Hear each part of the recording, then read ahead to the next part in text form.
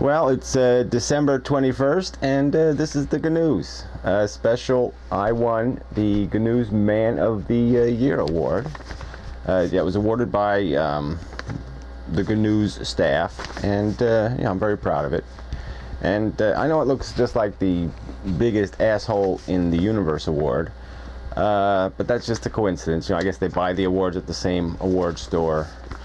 Um, so anyway, in the news today, uh, boy, the news was really boring.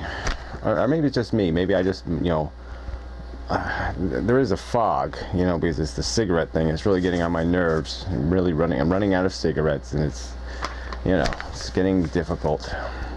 Um, so anyway, yeah, this New Orleans thing, there was this uh, problem because the, you know, the people in New Orleans are want their cheap housing back, and but they have to demolish it, and and they call it. Um, I just find it funny. They say call it they said it was okay to raze the public housing, and they use the word raze when they want to tear it down. And I just thought that was kind of a, you know, it's always been kind of a funny word that raze. You know, it's like that's like that double speak from 1984 or something. Like you know, you're raising when you're tearing down. You know, you're doing somebody a favor because you're. Well, anyway. Um, so anyway, yeah, they say they're going to put up some new public housing that will be more diverse in terms of the income people in the projects, I guess you'd call them. And uh, I guess the plan is there, you know, you have a little more expensive houses, they'll make sure the other people don't fuck everything up. Um, but anyway, controversy there, taserings and such going on. So you know, but yeah, it's hard hard to know what side to fall on and that kind of stuff.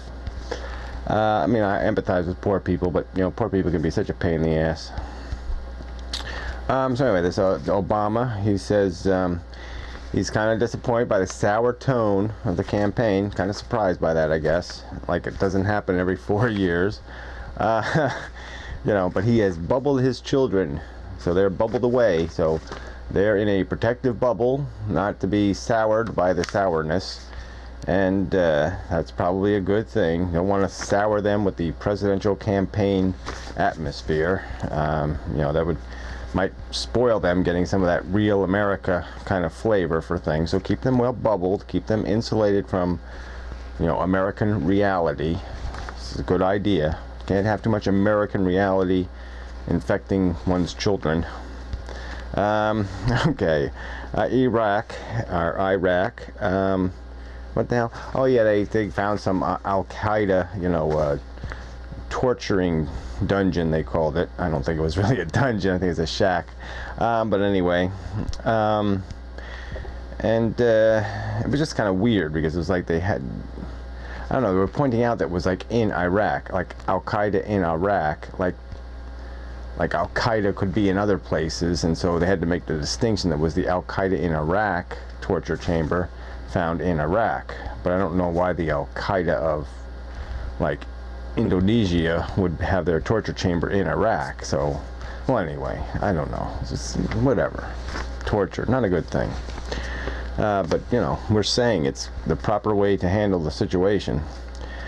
Um, okay, the president is claims in a news conference, you know, when he's kind of having a news conference to celebrate his, you know, victory over the evil Democratic Congress, and um, but you know, he did get asked about this nasty torture business and uh, the, erasing the tape, and he says he's not, you know, he's not being ambiguous on the fact that he doesn't recall, you know, so he's not ambiguous on that point. He just, you know, he doesn't recall telling them to delete, you know, erase a torture tape. I mean, he's always called upon to erase stuff, so I mean, it's, you know, how's he going to remember everything he has erased?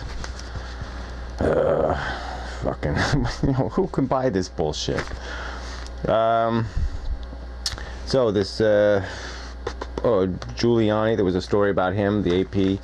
Uh, apparently they found that he took a lot of stuff out of New York City when he left, and uh, he was very secretive and didn't have very open government and blah, blah, blah. He didn't have a government. He had a soap opera. I mean, you know, people remember back before 9-11 I mean, just every day in the paper was crap about this guy's mess of a personal life. Complete disaster.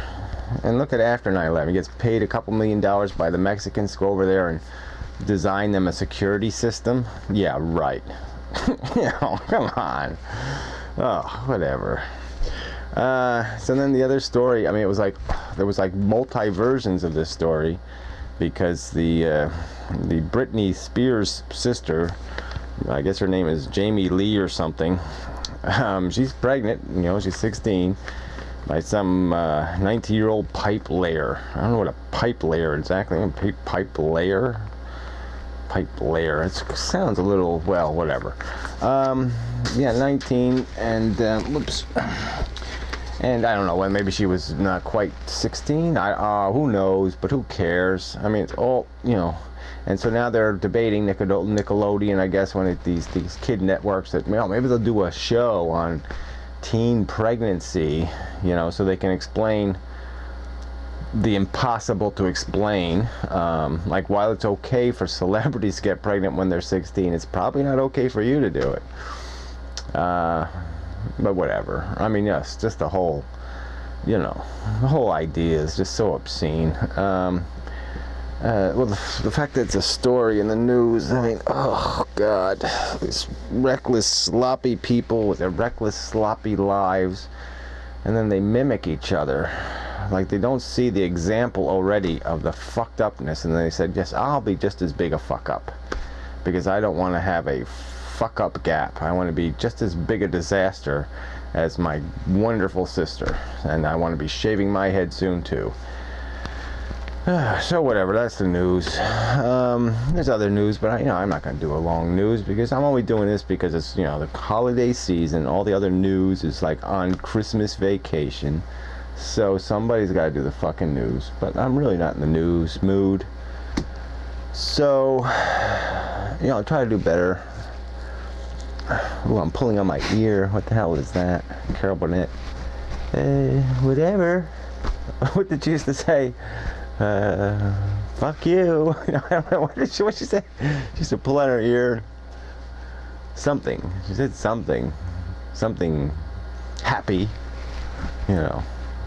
Peace the fuck out.